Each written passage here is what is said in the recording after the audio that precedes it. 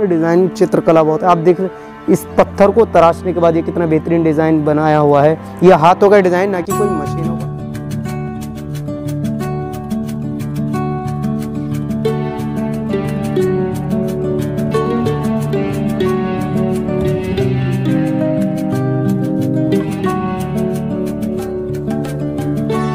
Hello दोस्तों, कैसे आप सब लोग? आई होप कि आप अच्छे होंगे, बेहतर होंगे। मैं आपका फैज़ अलवी एक न्यू ब्लॉग के साथ। तो दोस्तों, आज हम फिर आए हैं बड़े ऐतिहासिक मकबरे के साथ। तो दोस्तों, ये मकबरा है सैयद सैफ अली खान का मकबरा और इसी मकबरे के साथ उनकी वालिदा की कब्र भी है, जो उनके पास है।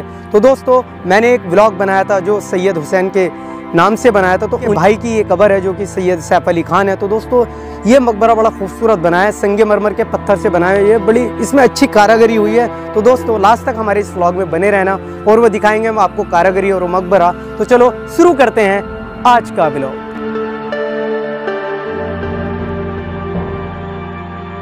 तो दोस्तों फाइनली मैं इस मकबरे के अंदर आ चुका हूँ। ये इसका गेट था, ये गेट तो टूट चुका है। अब मैं इसके मकबरे के अंदर आ चुका हूँ। इस मक, बहुत खूबसूरत ये मकबरा है। इसकी कारागरी दिखाएँगे, चित्रकला दिखाएँगे और आप देख सकते हैं, जो और मकबरे में भी आपने देखी होगी, वो बाउंड्री जो चारों तरफ़ है, वो इसी तरीके से भी इसमें बाउंड्री और इसका देख सकते हैं कितना बेहतरीन ये चबूतरा है इस मकबरे का। तो चलो चलते हैं अब इस मकबरे के तो दोस्तों, अब चलते हैं हम इसके ऊपर।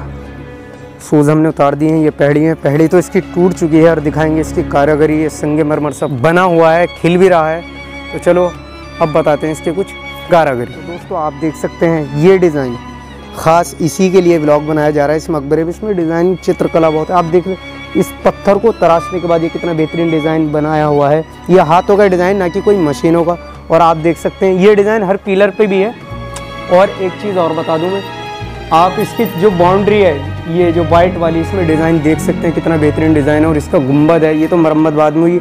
और ये जो है वो सैयद सैफ अली ख़ान का मकबरा है, उनकी कब्र है और ये एक बच्चे की बताते हैं, उनका बच्चा है किसी और का, मगर ये बच्चे है और उनकी जो वालिदा की कब्र है, वो जो मेरे पीछे कब्र देख रहे हैं आप, उनकी वालिदा की कब्र है। और हाँ एक ख़ास और चीज़ बात बता दूँ मैं आपको।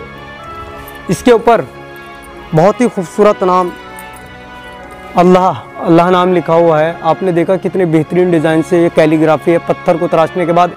और जो वो अल्लाह है वो अल्लाह जिसमें लिखा वो बहुत अच्छा डिज़ाइन है। तो दोस्तों, ये इस मकबरे की ख़ास बात है। और ये जो पिलर हैं, इस पिलर के अंदर जो ये दरवाजे हैं, ये बारह के बारह दरवाजे हैं। ये बारह, तीन इधर तीन इधर, चारों तरफ़ तीन तीन करके ये बारह दरवाजे हैं। तो यही इसकी खूबी है।